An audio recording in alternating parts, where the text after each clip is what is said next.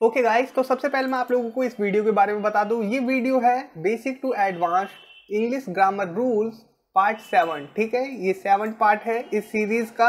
और बाकी के पार्ट जो कि छह पार्ट है, वो मैं डिस्क्रिप्शन में उनका लिंक दे दूँगा, आप जाके देख सकते हैं। आप लोग देख रहे हैं learn English in Hindi grammar conversation तो इस नाम को याद रखिए learn English in Hindi grammar conversation और इस वीडियो में हम जानेंगे all advance rules modal verb. Modal verb के हर एक एडवांस रूल और उनका सेंस जानेंगे कहाँ कहाँ पर यूज़ होते हैं। और साथ ही मैं आपको स्ट्रक्चर भी दूँगा, जो कि आपको समझने में आसानी हो, ठीक है?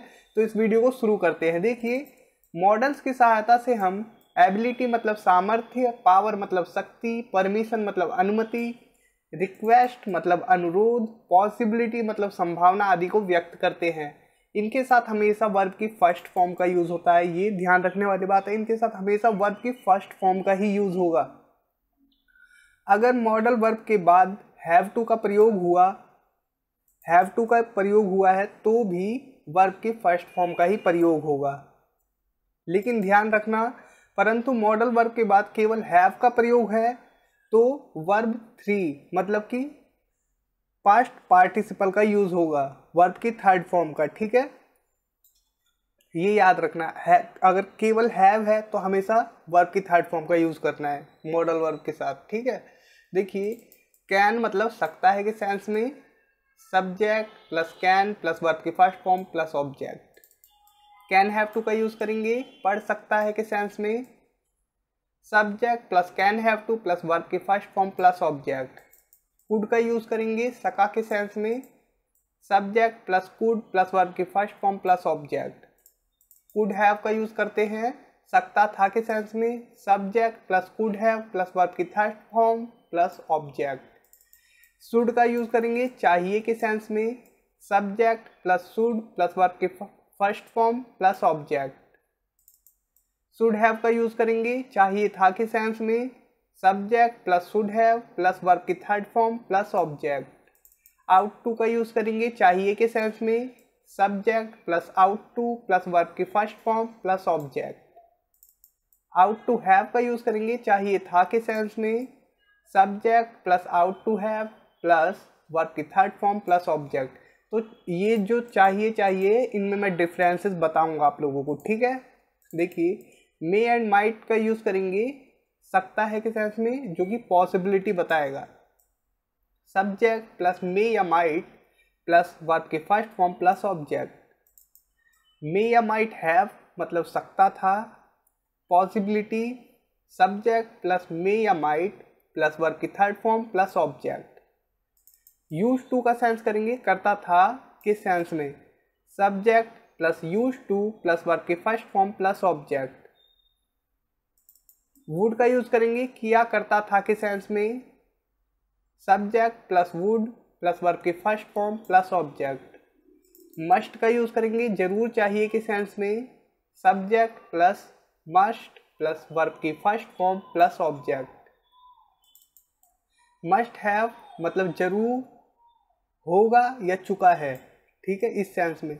Subject plus must have plus verb की third form plus object dare का यूज़ करते हैं हिम्मत करना के सेंस में, ठीक है? Subject plus dare plus verb की first form plus object has to have to का यूज़ करेंगे। करना है, करना पड़ता है के सेंस में। सब्जेक्ट प्लस हैज़ टू या हैव टू प्लस वर्ब की first form plus object had to का यूज़ करेंगे। करना था करना था या करना पड़ता था या करना पड़ा के सेंस में। Subject plus had to plus verb की first form plus object will have to का यूज़ करते हैं, करना होगा, करना पड़ेगा के सेंस में? Subject plus will have to plus verb की first form plus object need मतलब ज़रूरत, इसका रूल है सब्जेक्ट नीड प्लस वर्क की फ़र्स्ट फॉर्म प्लस ऑब्जेक्ट अब नीड टू का यूज़ यूज़ करते हैं, करने की ज़रूरत, ने की ज़रूरत के सेंस में, ठीक है? Subject plus need to plus verb की फ़र्स्ट फॉर्म प्लस ऑब्जेक्ट आइए अब सेंटेंसेस देखते हैं और उनके एग्ज़ाम्पल से आप लोग अच्छे से समझ पाएँगे। और किस सेंस में यूज़ करते हैं, ये भी मैं आपको बताता हुआ चलूँगा। देखिए he can speak English fluently मतलब एबिलिटी यहाँ पर कैन का यूज़ हम एबिलिटी दिखाने के लिए कर रहे हैं। वो धारा पर, वो धारा प्रवाह अंग्रेज़ी बोल सकता है। He can drink six litre of milk मतलब कैपेसिटी मतलब क्षमता, वो छः लीटर दूध पी सकता है इस सेंस में। I can lift this table power मतलब शक्ति की बात हो रही है कि मैं ये टेबल उठा सकता हूँ। तो हमने कैन का यूज़ किया।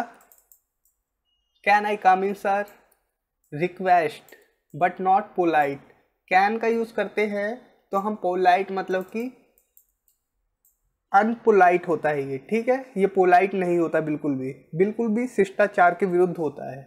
मतलब यार दोस्तों से हम कह सकते हैं आई एम कम इन ठीक है? लेकिन हम किसी टीचर के सामने कैन आई कम नहीं कह सकते।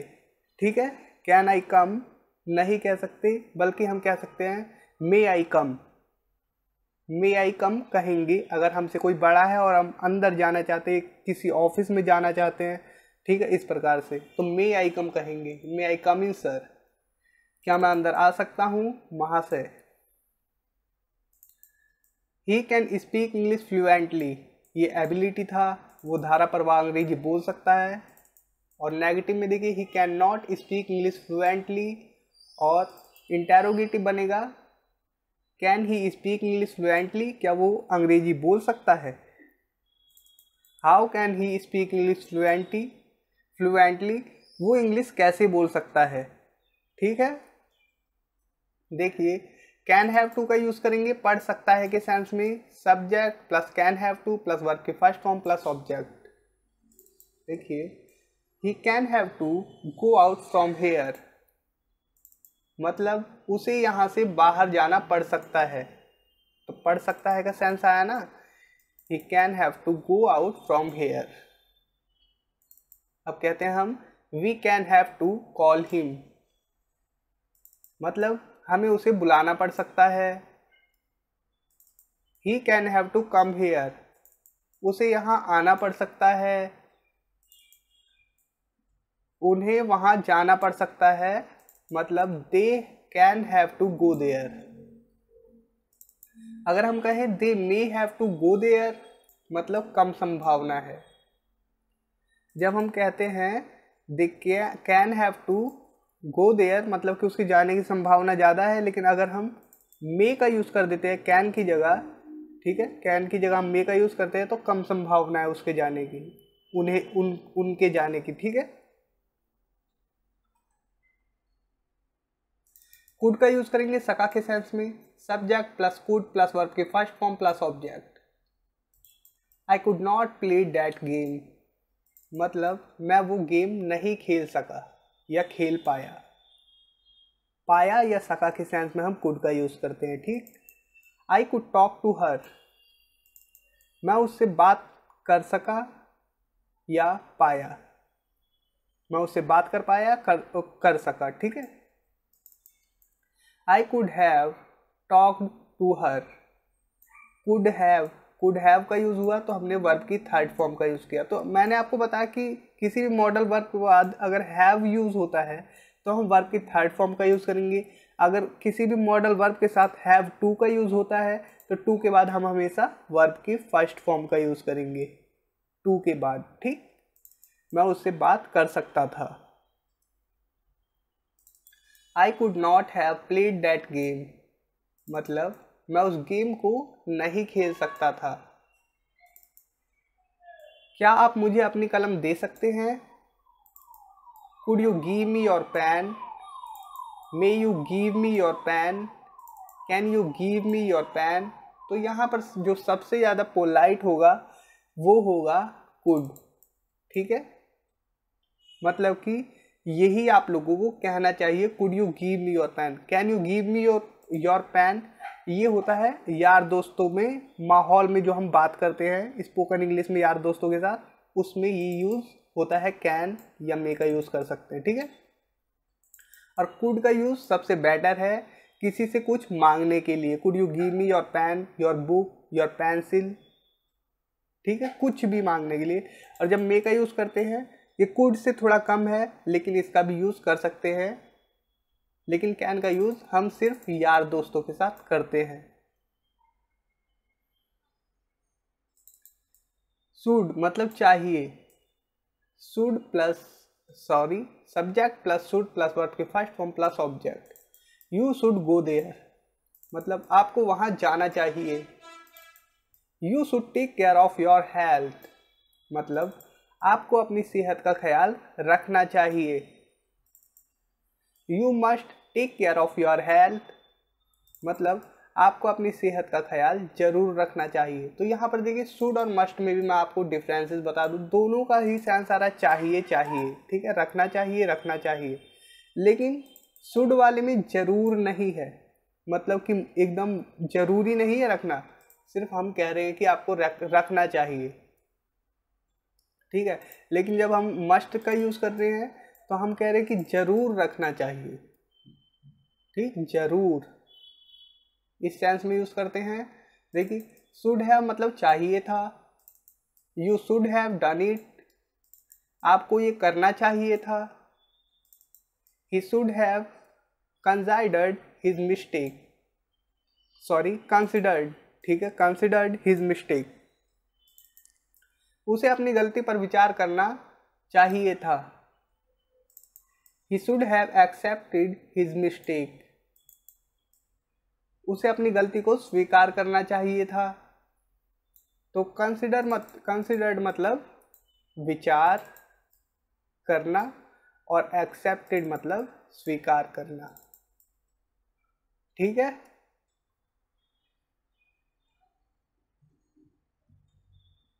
अब हम यूज़ करते हैं आउट टू का मतलब चाहिए।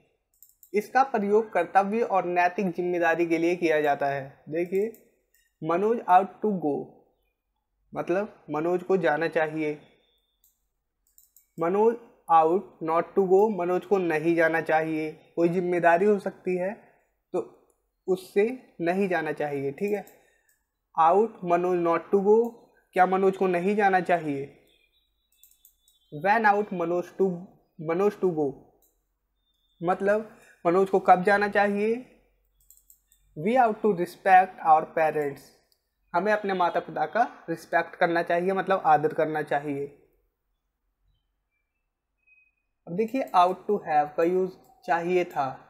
Subject plus ought to have plus verb की थर्ड फॉर्म प्लस ऑब्जेक्ट हमें गरीबों की मदद करनी चाहिए थी। We ought to have help the poor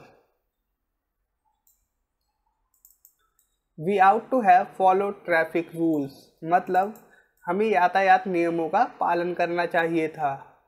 अगर हम कहें we should have followed the traffic rules तो ये भी यही काम करेगा। ठीक है? मतलब कि आप आउट टू का भी यूज़ कर सकते हैं और शुड हैव का भी यूज़ कर सकते हैं। ठीक है? आउट टू हैव का या शुड हैव का। दोनों में से किसी का भी। मे और माइट मतलब सकता है पॉसिबिलिटी मतलब संभावना। देखिए, आज बारिश हो सकती है, हम कह सकते हैं इट मे रेन टुडे या it might rain it might rain today तो यहाँ जो इट मे रेन टुडे है मतलब कि बारिश होने की संभावना ज़्यादा है इट मे रेन टुडे आज बारिश हो ही सकती है, ठीक है? और ये है जो इट माइट रेन टुडे शायद आज बारिश हो सकती है इट माइट रेन टुडे ठीक? माइट मतलब शायद हो सकती है, लेकिन मे आज हो ही सकती है। समझे? मतलब मे का यूज़ करेंगे, ज़्यादा संभावना है। माइट का यूज़ करेंगे, कम संभावना है किसी चीज़ के होने की। May or sorry may might have ठीक है? मे माइट मे या माइट उसके बाद हैव मतलब सकता था possibility subject plus may might plus verb की थर्ड फॉर्म प्लस ऑब्जेक्ट। कल बारिश हो सकती थी। It may have rained yesterday मतलब कि कल बारिश हो सकती थी, ज़्यादा संभावना थी। मे का यूज़ किया। It might have rained yesterday मतलब शायद कल बारिश हो सकती थी। समझे? कम संभावना है माइट का यूज़ कर रहे हैं तो। कम संभावना थी बारिश होने की, ठीक? यूज़ टू का यूज़ करते हैं अब। मैं इस स्कूल में पढ़ा करता था। तो करता था कि सेंस में हम हमेशा यूज़ करेंगे। जो हम पिछली, पिछले सालों में या पिछले दिनों में किया करते थे, उसके लिए हम यूज़ टू का यूज़ करते हैं, जो हम अपने अतीत में किया करते थे। देखिए, मैं यहाँ खेला करता था या मैं यहाँ खेलता था, दोनों का सेंस एक ही है। I use to play here वह मेरे बारे में सोचा करती थी she use to think about me. अब हम वुड का यूज़ करते हैं, करता था के सेंस में? Subject plus would plus verb के फ़र्स्ट फॉर्म प्लस ऑब्जेक्ट वो मेरे बारे में सोचा करती थी, she would think about me तो आप वुड का भी यूज़ कर तक यूज़ कर सकते हैं इस प्रकार के सेंटेंसेस के लिए, ठीक है? वो मेरे बारे में सोचा करती थी, she use to think about me या she would think about me मैं स्कूल में, मैं इस स्कूल में पढ़ा करता था I would study in this school मैं यहाँ खेला करता था या खेलता था, हम ये भी कह सकते हैं आई वुड प्ले हेयर समझे? देखिए मस्ट मतलब ज़रूर चाहिए के सेंस में। आपको उसकी अवश्य मदद करनी चाहिए। यू मस्ट हेल्प हिम अवश्य या ज़रूर। ठीक है, ज़रूरी है। यू मस्ट हेल्प हिम आपको अपने माता पिता का आदर आदर ज़रूर करना चाहिए। You must respect your parents must have का मतलब ज़रूर या चुका होगा। Subject plus must have plus verb की थर्ड फॉर्म प्लस ऑब्जेक्ट देखिए he must have done all these उसी ने ये सब किया होगा। तो यहाँ पर होगा। चुका होगा, कुछ चीज़ कर चुका होगा, किया होगा, गया होगा, इस सेंस में या ज़रूर उस उस चीज़ को किया होगा, ठीक है? He must have done all this मतलब उसी ने ये सब किया होगा, देखिए, Manoj must have seen Sunita. Manoj ने सुनीता को अवश्य या ज़रूर देखा होगा। लड़के क्रिकेट मैच खेल चुके होंगे या चुके हैं the boys must have played the cricket match ठीक है? अब हैज़ टू और हैव टू जानते हैं मतलब करना है, करना पड़ता है। Subject plus has to plus have या have to according to subject हम हैश टू या हैव टू का यूज़ करते हैं प्लस वर्क की फ़र्स्ट फॉर्म प्लस ऑब्जेक्ट इनका प्रयोग व्यवस्था मतलब कंपल्सन अनिवार्यता मतलब नेसेसिटी और ज़रूरत मतलब नीड को दर्शाता है। इस, ये जो स्ट्रक्चर है, इसका प्रयोग। देखिए, मुझे ऑफ़िस जाना पड़ता है। I have to go to office मुझे काम नहीं करना पड़ता है। I don't have to work उसे मेहनत नहीं करनी पड़ती है।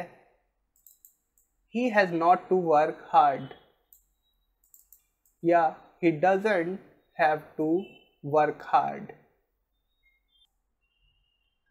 अब हैड टू का यूज़ देखिए। उसे ऑफ़िस जाना पड़ता था। इससे आप समझ जाएँगे हैज़ टू और हैव टू के बारे में। उसे ऑफ़िस जाना पड़ता था। उसे ऑफ़िस जाना था।